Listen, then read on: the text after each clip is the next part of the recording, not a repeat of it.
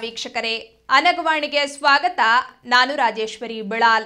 ಸಾಮಾನ್ಯವಾಗಿ ಮನುಷ್ಯನಿಗೆ ಪೂರ್ವಜನ್ಮದ ಸ್ಮರಣೆ ಇರುವುದಿಲ್ಲ.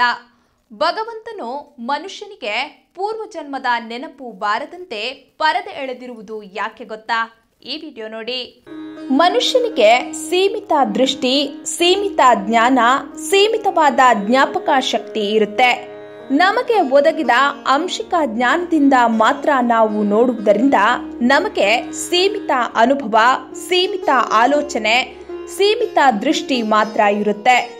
ನಮ್ಮ ಜ್ಞಾಪಕ ಶಕ್ತಿಗೂ ಒಂದು ಮಿತಿ, ಒಂದು ಎಲ್ಲೆ ಇರುತ್ತೆ.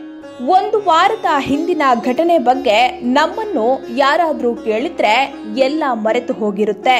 ಹೀಗಿರುವಾಗ ಮನುಷ್ಯನಿಗೆ ಪೂರ್ವಜನ್ಮದ ಸ್ಮರಣೆ ಇರಲು ಹೇಗೆ ಸಾಧ್ಯ ಅಲ್ಲವೇ? ಮೃತ್ಯುವು ಮನುಷ್ಯನನ್ನು ಆವರಿಸಿ ಅವನನ್ನು ಒಂದು ವಿಧದ ಮೂರ್ಛೆ ರೂಪದಲ್ಲಿಡುತ್ತೆ.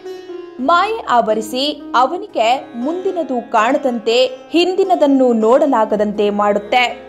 ಎಲ್ಲೋ ಕೆಲವರಿಗೆ ಪೂರ್ವಜನ್ಮದ ಸ್ಮರಣೆ ಇರುತ್ತೆ. ಯಾವುದೋ ವಯಸ್ಸಿನಲ್ಲಿ ಹಿಂದಿನ ಜನ್ಮದ ಕೆಲವು ನೆನಪುಗಳು ಬಂದು ಬಿಡುತ್ತೆ ಆದ್ರೆ ಪರಮ ಕಾರಣಿಕನಾದ ಪರಮೇಶ್ವರನು ಬೇಕಂತಲೇ ಮನುಷ್ಯನಿಗೆ ಹಿಂದಿನ ಜನ್ಮದ ನೆನಪನ್ನು ಕೊಟ್ಟಿಲ್ಲ. ಒಬ್ಬ ಮನುಷ್ಯನಿಗೆ ತನ್ನ ಹಿಂದಿನ ಜನ್ಮದ ಸ್ಮರಣೆ ಬಂದಾಗ ಅದರಿಂದ ಕೆಲವು ಗೊಂದಲಗಳು ಏರ್ಪಡಬಹುದು. ಆ ಕಾರಣಕ್ಕಾಗಿ ಮನುಷ್ಯರಿಗೆ ಪೂರ್ವ ಜನ್ಮದ ಸ್ಮರಣೆ ಸಾಮಾನ್ಯವಾಗಿ ಇರುವುದಿಲ್ಲ. ಮನುಷ್ಯನಿಗೆ ಹಿಂದಿನ ಜನ್ಮದ ಸ್ಮರಣೆ ಉಂಟಾದ್ರೆ ಸಮಸ್ಯೆಗಳು, ಗೊಂದಲಗಳು ಏರ್ಪಡುತ್ತವೆ. ಹೀಗಾಗಿ ಆ ಜನ್ಮದ ಕತೆ ಆ ಜನ್ಮಕ್ಕೆ ಅಲ್ಲಿಗೆ ಮುಗಿಯಬೇಕು. ಇಲ್ಲದಿದ್ರೆ ಪ್ರಕೃತಿಯಲ್ಲಿ ಮತ್ತು ಜಗತ್ತಿನಲ್ಲಿ ಎಷ್ಟೋ ಅವ್ಯವಸ್ಥೆ ಉಂಟಾಗುತ್ತೆ.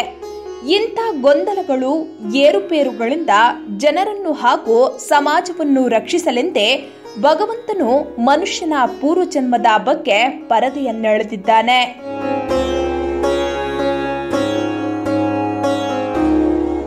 ಈ ವಿಡಿಯೋ ನಿಮಗೆ ಇಷ್ಟವಾದ್ರೆ ಲೈಕ್ ಮಾಡಿ, ನಮ್ಮ ಅನಗವಾಣಿಯನ್ನ ಸಬ್ಸ್ಕ್ರೈಬ್ ಮಾಡಿ, ಪಕ್ಕದಲ್ಲಿರುವ ಬೆಲ್ ಬಟನ್ ಒತ್ತಿ.